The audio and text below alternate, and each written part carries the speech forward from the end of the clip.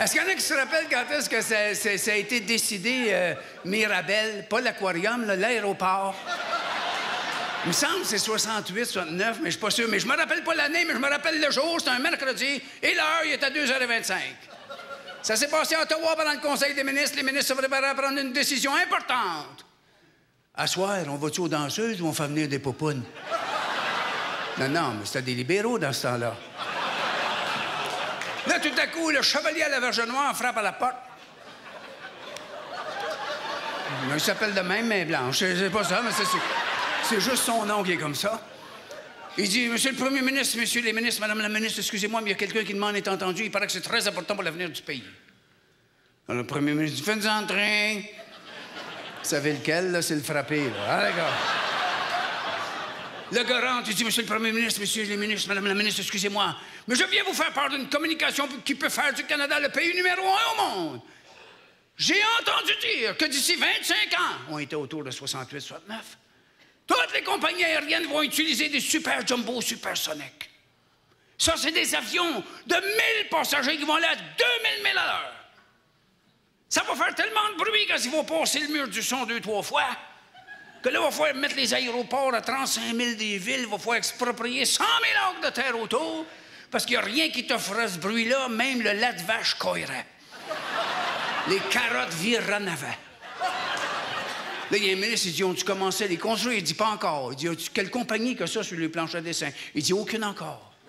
En fait, on est les seuls à le savoir. Même les Américains sont pas au courant. Les Américains sont pas au courant. Eh bien, on va se construire le plus grand aéroport du monde pour les super jumbo supersoniques dans la plus grande ville du Canada, Toronto. Fait qu'il arrive à Toronto, là, il dit, maire de Toronto, on a appris, là, il compte toute l'histoire, il va avoir des super jumbo supersoniques, 2000 000 à l'heure, en tout cas. Il dit, on va vous construire un aéroport à Pickering, à peu près à 35 000 de celui que vous avez. Celui que vous allez, vous allez le garder pour le national. L'autre, ça va être l'international. On va exproprier 100 000 acres de terre autour. Là, le maire de Toronto, dit, hé, hé, hé, ça tourne pas rond là-dedans, là? Vous me ferez pas deux aéroports à 35 000 une de l'autre, moi, perdre la moitié de mon trafic aérien, moi. Vous exproprierez pas 100 000 acres de terre dans la région de Toronto, là. Wow, wow, wow, wow. Le, gars, dit, mais monsieur le maire, les super jumbo supersoniques. Ah, ben, je m'en parlerai quand il y des super jumbo supersoniques. Pour l'instant, allez compter vos niaiseries, il y a du monde assez épais pour vous croire.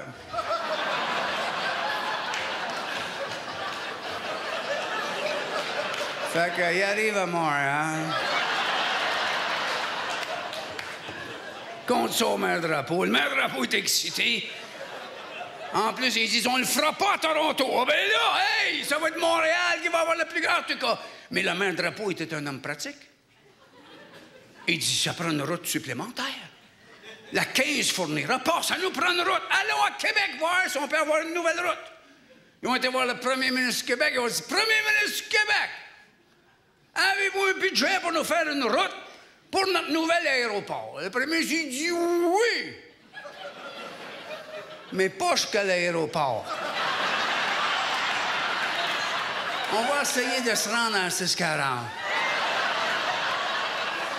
Non, mais ça va te donner l'idée au monde. C'est par là. C'est par là.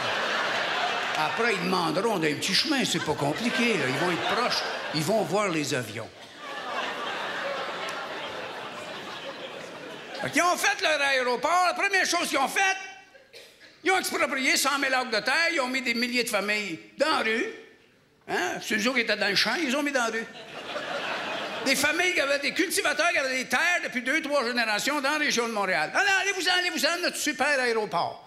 Là, ça a été un drame humain. Ça a coûté une couple de milliards bâtir l'aéroport. Naturellement, comme il n'y avait pas de communication entre les deux aéroports, la moitié des compagnies aériennes, après un an ou deux, se sont dit Hey, on va s'en aller à Toronto. Tout le monde est dans le même aéroport, c'est trop compliqué. Montréal a perdu 50 de son trafic aérien, donc des dizaines de milliards à l'économie de Montréal. Et ça a pris 25 ans! Avant qu'un matin, il y en a un qui se réveille et qui dit Hey, pour moi, là, c'est pas bon deux aéroports. On devrait en farmer un. Ils n'ont pas fermé le bon!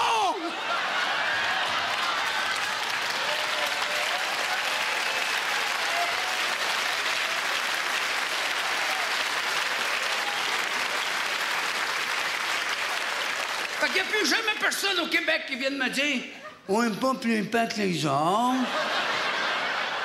oui, on est plus épais que les autres!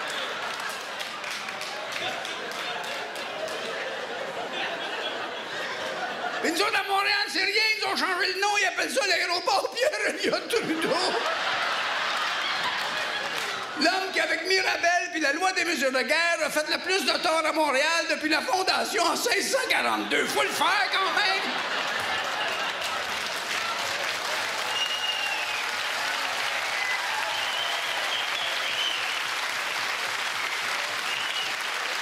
Nous autres, on est pas juste épais. On est masochistes en plus! On aime ça, se rappeler qu'on est épais!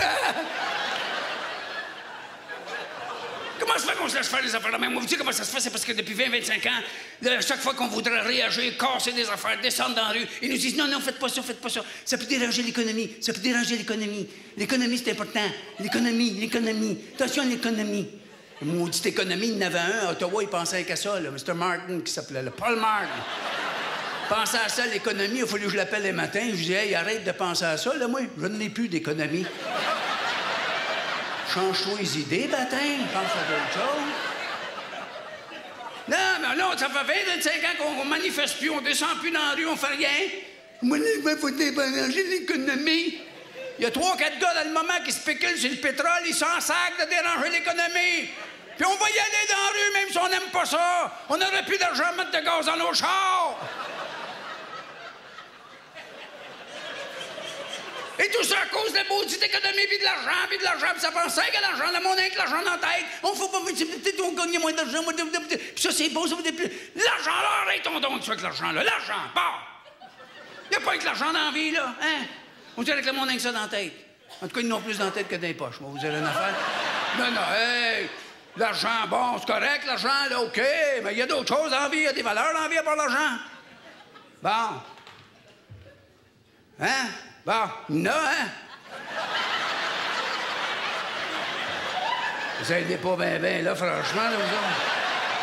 Moi non plus, m'en viens pas dans l'idée sur le coup, là, mais. Non, non, mais ça se peut pas gagner avec l'argent. Moi, je dis que ça se peut pas parce que moi, quand j'étais jeune, ça n'existait même pas l'argent. Moi, je suis né des années 30, il y a de la misère. Il y a même de la misère. N'y pas d'argent, il y a de la misère. Hey, il y avait tellement de misère à Montréal, il y en a qui partaient pour la BTB. Faut que ça aille mal en maudit, là, hey! Il y en a qui pensent qu'il y a une crise de logement. Dans ce temps-là, il n'y avait même pas de logement ici, pas loin, à Pointe-Saint-Jean. Il y avait le village aux oies. Le monde restait dans des cabanes de bois puis des cabanes faites avec des annonces de coke. Hey, en arrière chez nous, dans Revel, il y avait un vieux garage pour un auto. Là, pendant 10 ans, il y a 14 personnes qui ont vécu de camp. Une famille de 12 enfants, le père et la mère. 14 personnes dans un garage pour les autos. Bon, c'est sûr que le jour, ça allait bien, il y en a qu'à l'école, il y en a qui travaillaient. Mais le soir, là, il était tassé en tabarnouche, hein? Surtout quand il rentrait le char.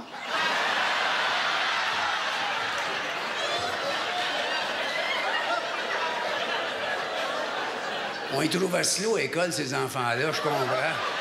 Il est agazé.